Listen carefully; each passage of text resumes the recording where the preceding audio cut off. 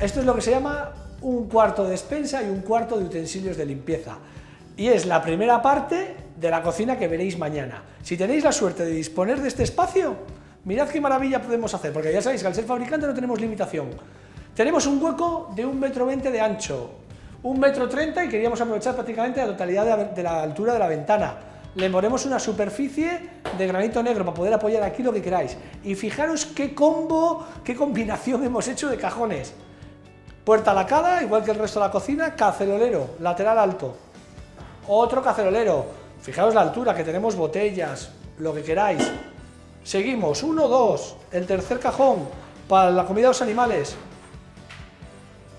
Más despensa y el último, para no tener dos separados, que hemos hecho uno entero de una pieza de un metro veinte. Ahí le tienes para guardar todas las ollas, sartenes, paellero y todo lo que queráis. Fijaros qué auténtica maravilla en este cuarto, como que está algo escondido. Bueno, y porque, por si fuera poco, como ya hemos solucionado la parte de almacenaje, todavía nos quedaba espacio para qué? Para hacer este super mueble de 90 centímetros de ancho, esta columna con dos puertas unidas ¿Para qué? Mira, mira, mira. Te abro por aquí y te abro por aquí. Fijaros qué mueble escobero, bueno, para los utensilios de limpieza y para todos los productos, como podéis observar, toda la parte alta de almacenaje, estructura de baldas suspendidas y fijaros todo lo que se entra aquí, escaleras, tabla de planchar, cubos, bueno, lo que queráis.